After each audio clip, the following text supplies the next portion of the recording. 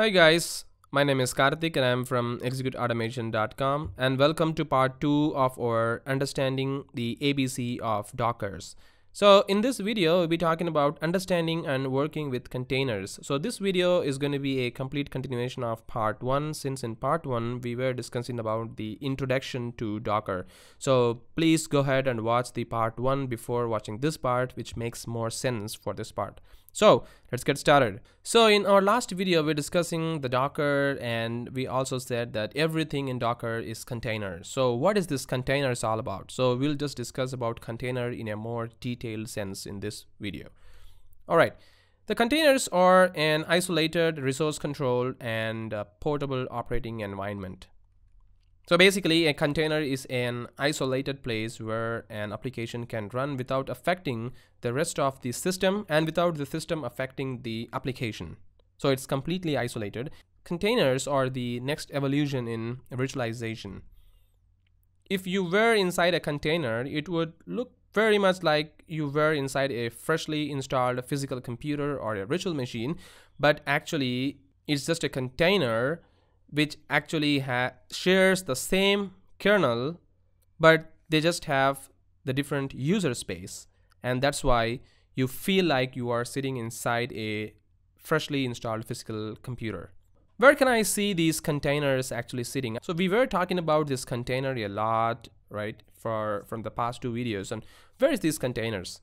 Well, all these different containers are sitting in what is called as a http colon double slash hub hub.dockers.com and if you go there you can search for all these uh, these containers. Let's quickly see how it looks. So for that I'm gonna flip to Chrome. So here what I'm gonna do I'm just gonna go to the hub.docker.com and it will invite you to a login for within your docker so you can actually create a free docker account. So we're not going to really touch this part as of now. So i'll just quickly search for some of these uh, these uh, dockers containers. So you can click this explore and you can see there are so many official repositories available like ubuntu redis swarm mongo mysql postgres wordpress etc and you can also search for some of the automated uh, build like if I search for Selenium, uh, you can see you have the Selenium, docker.selenium and Ubuntu Selenium, Selenium Hub, etc. So if you go inside this, you can actually see the information of this particular uh, this particular repository and it will also give some of the information like docker pull command uh, who is the owner and what is the source repository of this and what is the tag docker file build it etc so we'll actually talk about these stuff later but as of now just understand that this is how this is how you can actually explore and search for some of the containers available uh, in docker so there are so many containers available in docker uh, whatever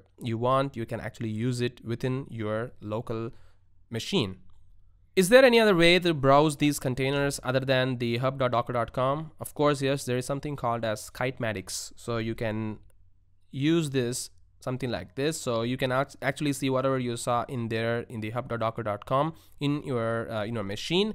And you can actually do the uh, the GUI interface operations as opposed to the command line uh, operations. So if you're going to do a operation called docker pull selenium slash hub in a command prompt you can actually do the same thing via a UI so you can actually go right here in the uh, in the kitematics actually this kitematic is available along with the docker if you have already installed the docker you can see there is a docker uh, running in here. You can just just right click and there is something called as open kitematics. So you will get this folder. And within this uh, kitematic you can actually see the different kinds of uh, containers which is available online. And you can actually install the same from this particular uh, UI itself. So it's actually loading all the images and you have to first sign in into this Kitematic for the first time, I have actually signed in uh, as an execute automation and that's why it is automatically loading all these uh, images for me. So as you can see, there are uh, different kinds of uh, containers available like Jenkins, Ghost, uh, Postgres, Ubuntu. So whatever you saw online in the hub.docker.com, exactly the same is uh, coming right here. And you can actually uh, click this create button uh, to, to create a local copy of container within your machine. So we'll actually talk about all these stuff in later video of this course, right? So what this container actually has inside?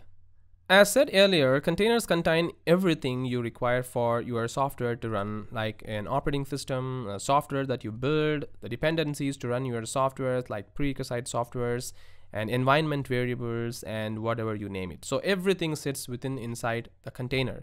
So what if I change something in my software and the dependencies, what will happen to those containers then? Actually, within a container, there are a lot of things like versioning.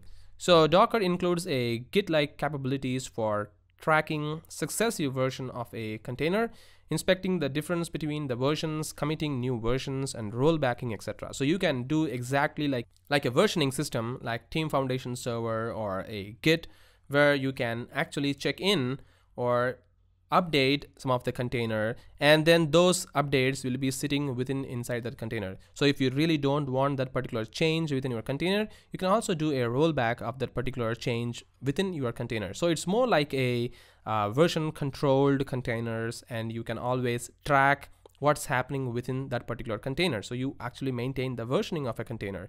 So the history also includes how a container was assembled and by whom so if within your company, uh, two or three people are actually using uh, the same container, and if you are making the changes, then you can also include uh, the history of who is doing what. So you get the full traceability from the production server all the way back to the upstream of the developer. And the Docker also implements the incremental upload and downloads similar to a git pull. So new versions of containers can be transferred by only sending the difference which means if uh, you are building a container or if you're using a container and if you're downloading uh, a new version of container so it won't download the whole container into a machine again. Rather it will only download the difference between the changes within the same container right? So it will tremendously increase the performance of downloading and also the usage very quickly than compared to your actual uh, kind of virtual machine or something like that and also there is something called as component reuse. So any container can be used as a base image to create more specialized components. So this can be done manually or as a part of an automated build. For example, you can prepare the ideal Python environment and use it as a base for 10 different applications. So your ideal Postgres setup can be reused for all your future project and so on. So it can so the same container can be used as a base image as well right? So these are the super cool things available within the Docker's, uh, Docker's container. So does this containers only has the Linux operating system in it? Well, you asked a good question. Starting Windows Server 2016, there will be Windows Server containers, which provides greater level of flexibility. Using this, we can integrate with existing Windows technologies like uh, like .NET, ASP.NET, PowerShell, and more. So Windows Server 2016 is not released yet while recording this particular video, but soon you will have these kind of uh, container operations within Windows as well. And please note that this Windows Server's container will only support in the Windows Server 2016. So older version of operating system will not support as of now. Maybe there will be some backward compatibilities, who knows? But yes, Windows Server 2016 has the feature and not only the Linux operating system, Windows operating system also can be containerized.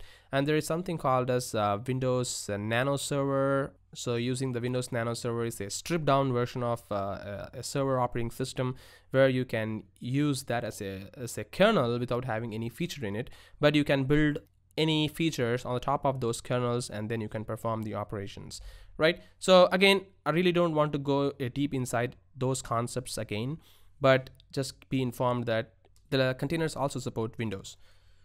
All right, so let's start working with the Dockers and containers then, and we'll have a clear understanding of how things works. So the next video will be actually installing the Docker in our machine, and uh, following that, we'll be starting to work with those containers. Thank you.